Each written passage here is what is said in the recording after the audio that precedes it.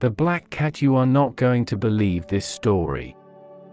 But it is a true story, as true as I sit here writing it, as true as I will die in the morning.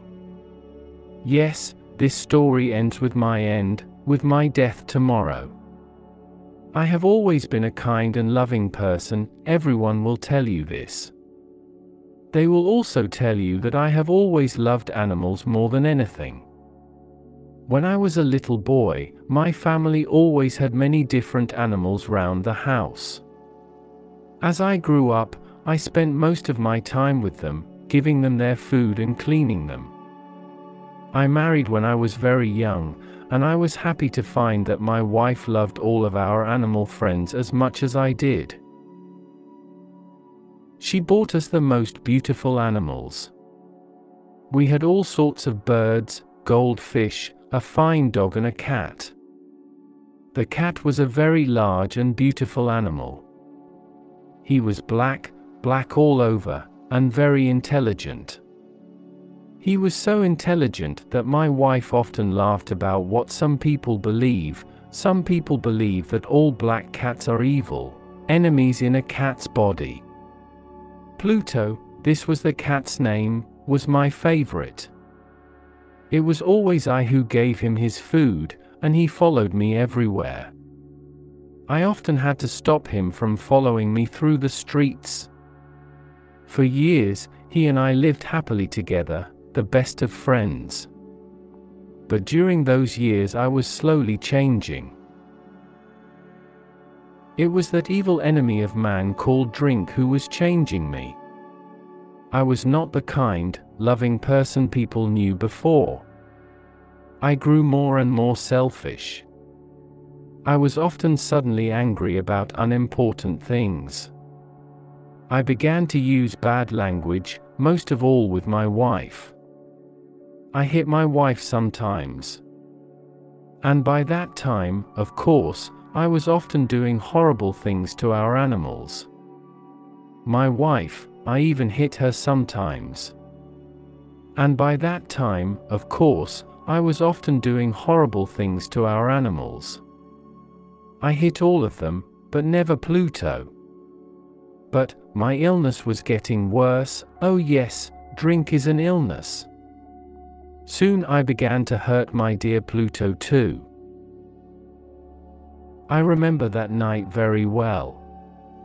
I came home late, full of drink again. I could not understand why Pluto was not pleased to see me. The cat was staying away from me. My Pluto did not want to come near me. I caught him and picked him up, holding him strongly.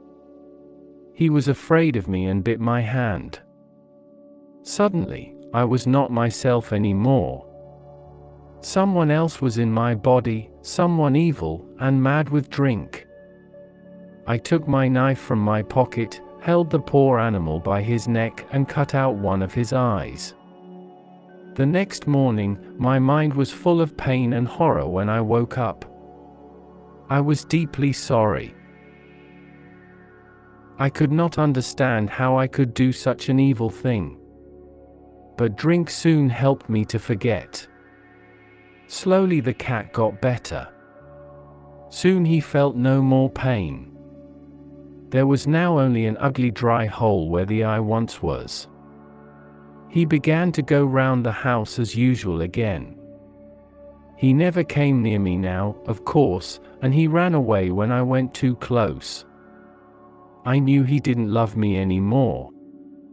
At first, I was sad. Then, slowly, I started to feel angry, and I did another terrible thing. I had to do it, I could not stop myself. I did it with a terrible sadness in my heart, because I knew it was evil. And that was why I did it, yes. I did it because I knew it was evil. What did I do? I caught the cat and hung him by his neck from a tree until he was dead. That night I woke up suddenly, my bed was on fire. I heard people outside shouting, Fire! Fire! Our house was burning. I, my wife, and our servant were lucky to escape. We stood and watched as the house burned down to the ground. There was nothing left of the building the next morning. All the walls fell down during the night, except one, a wall in the middle of the house. I realized why this wall did not burn, because there was new plaster on it. The plaster was still quite wet. I was surprised to see a crowd of people next to the wall. They were talking, and seemed to be quite excited. I went closer and looked over their shoulders. I saw a black shape in the new white plaster. It was the shape of a large cat, hanging by its neck. The new white plaster. It was the shape of large cat, hanging by its neck. I looked at the shape with complete horror. Several minutes passed before I could think clearly again. I knew I had to try to think clearly. I had to know why it was there. I remembered hanging the cat in the garden of the house next door. During the fire, the garden was full of people. Probably, someone cut the dead cat from the tree and threw it through the window, to try and wake me. The falling walls pressed the animal's body into the fresh plaster. The cat burned completely, leaving the black shape in the new plaster. Yes, I was sure that was what happened. But I could not forget that black shape for months. I even saw it in my dreams. I began to feel sad about losing the animal. So I began to look for another one. I looked mostly in the poor parts of our town where I went drinking. I searched for another black cat, of the same size and type as Pluto. One night, as I sat in a dark and dirty drinking house, I noticed a black object on top of a cupboard, near some bottles of wine. I was surprised when I saw it. I looked at those bottles a few minutes ago, I thought, and I am sure that object was not there before. I got up and went to see what it was. I put my hand up, touched it, and found that it was a black cat, a very large one, as large as Pluto. He looked like Pluto too, in every way but one, Pluto did not have a white hair anywhere on his body. This cat had a large white shape on his front. He got up when I touched him, and pressed the side of his head against my hand several times. He liked me. This was the animal I was looking for. He continued to be very friendly and later, when I left, he followed me into the street. He came all the way home with me, we now had another house, and came inside.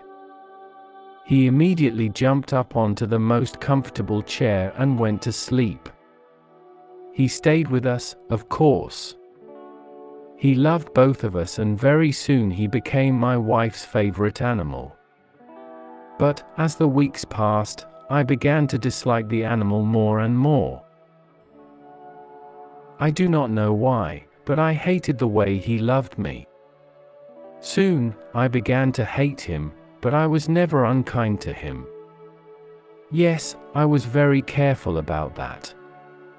I kept away from him because I remembered what I did to my poor Pluto. I also hated the animal because he only had one eye. I noticed this the morning after he came home with me. Of course, this only made my dear wife love him more. But the more I hated the cat, the more he seemed to love me. He followed me everywhere, getting under my feet all the time. When I sat down, he always sat under my chair. Often he tried to jump up on my knees. I wanted to murder him when he did this, but I did not. I stopped myself because I remembered Pluto, but also because I was afraid of the animal. How can I explain this fear? It was not really a fear of something evil. but then how else can I possibly describe it? Slowly, this strange fear grew into horror. Yes, horror. If I tell you why, you will not believe me. You will think I am mad.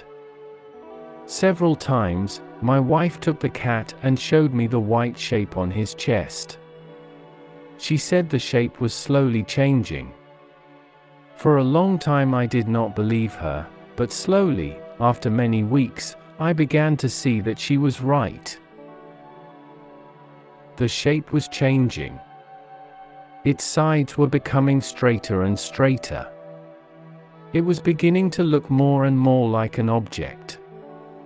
After a few more weeks, I saw what the shape was. It was impossible not to see. There, on his front, was the shape of an object I am almost too afraid to name. There, on the cat's front was the shape of that terrible machine of pain and death, the gallows. Was that terrible machine of pain and death, yes, the gallows. I no longer knew the meaning of happiness, or rest. During the day, the animal never left me. At night, he woke me up nearly every hour. I remember waking from terrible dreams and feeling him sitting next to my face, his heavy body pressing down on my heart. I was now a very different man. There was not the smallest piece of good left in me.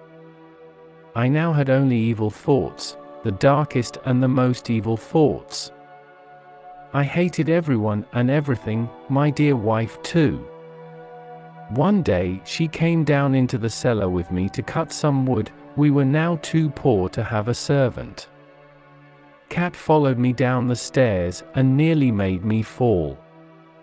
This made me so angry that I took the axe and tried to cut the animal in two. But as I brought the axe down, my wife stopped my arm with her hand. This made me even more angry and I pulled her hand away from my wrist, lifted the tool again, brought it down hard and buried it in the top of her head. I had to hide the body. I knew I could not take it out of the house. The neighbors noticed everything. I thought of cutting it into pieces and burning it. I thought of burying it in the floor of the cellar. I thought of throwing it into the river at the end of the garden. I thought of putting it into a wooden box and taking it out of the house that way. In the end, I decided to hide the body in one of the walls of the cellar. It was quite an old building, near the river, so the walls of the cellar were quite wet and the plaster was soft. There was new plaster on one of the walls, and I knew that underneath it the wall was not very strong. I also knew that this wall was very thick. I could hide the body in the middle of it. It was not difficult. I took off some plaster, took out a few stones and made a hole in the earth that filled the middle of the wall. I put my wife there, put back the stones, made some new plaster and put it on the wall. Then I cleaned the floor and looked carefully round. Everything looked just as it did before. Nobody would ever know. Next, I went upstairs to kill the cat. The animal was bringing me bad luck. I had to kill it. I searched everywhere, but I could not find him. I was sure it was because of my wife's murder, he was too clever to come near me now I waited all evening. But I did not see the evil animal. He did not come back during the night either. And so, for the first time in a long time, I slept well. When I woke up the next morning, I was surprised to see that the cat still was not there. Two, three days passed, and there was still no cat. I cannot tell you how happy I began to feel. I felt so much better without the cat. Yes, it was he who brought me all my unhappiness. and now, without him, I began to feel like a free man again. It was wonderful, no more cat. Never again. Several people came and asked about my wife, but I answered their questions easily. Then, on the fourth day, the police came. I was not worried when they searched the house. They asked me to come with them as they searched. They looked everywhere, several times. Then they went down into the cellar. I went down with them, of course. I was not a bit afraid. I walked calmly up and down, watching them search. They found nothing, of course, and soon they were ready to go. I was so happy that I could not stop talking as they went up the stairs. I did not really know what I was saying. Good clay to you all, dear sirs. I said. Yes, this is a well built old house, isn't it? Yes, a very well built old house. These walls, are you going, gentlemen? These walls are strong, aren't they? I knocked hard on the part of the wall where my wife was. A voice came from inside the wall, in answer to my knock. It was a cry, like a child's. Quickly, it grew into a long scream of pain and horror. I saw the policemen standing on the stairs with their mouths open.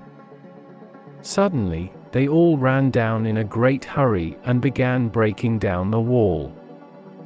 It fell quickly, and there was my wife, standing inside. There she was, with dried blood all over her head, looking at them.